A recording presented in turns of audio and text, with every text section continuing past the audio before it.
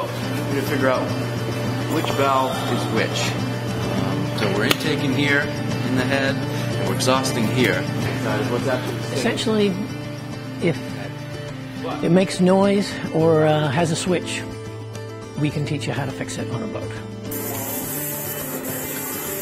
The name of the school is uh, International Yacht Restoration School. It makes people think that we're rebuilding old boats. That's not the case up here in Bristol. What we are learning is electrical systems, which means plumbing and air conditioning and refrigeration. And now we're doing engines.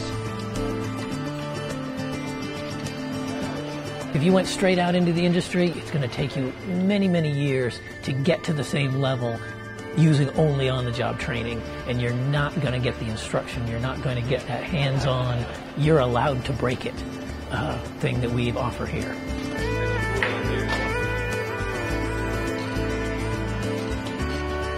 Out in the real world, it's it's fast paced. You know, you don't have time to ask a million questions, and you know, you're following a mechanic or an electrician around.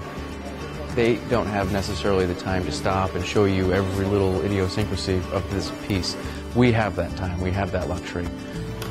Before I knew how to do certain things, I had used a fair number of tools, but I had never gotten uh, professional instruction in how to use things and the preferred way of working with these systems on boats. So now I'm getting certifications that insurance companies look for. I now am a ABYC certified marine electrician.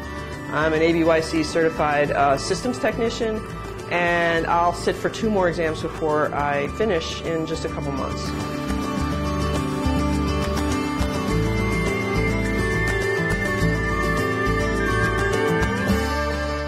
Students do come from all backgrounds, so we have a uh, British chap who's a yacht captain. We have people who aren't sure which is the business end of a screwdriver, and everything in between.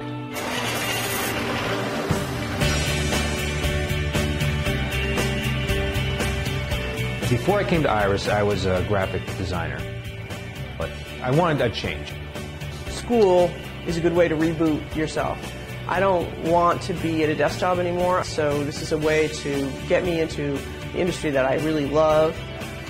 If you look up the people who have graduated from this course, it seems every one of them is whether either a respectable company or on their own doing something very, you know, interesting. I think IYRS has, uh, because of partnership with industry, we have a very good reputation with them. People understand that our graduates um, have a certain skill set that they can use. I think the greatest thing I'm looking for is pride. If they're going to do it, they're going to do it well. And 99% of the time, that, that job I can then hand off to a customer and say, this, this, is, this is good. You know, I think that's something that was taught, um, taught well at IYRS.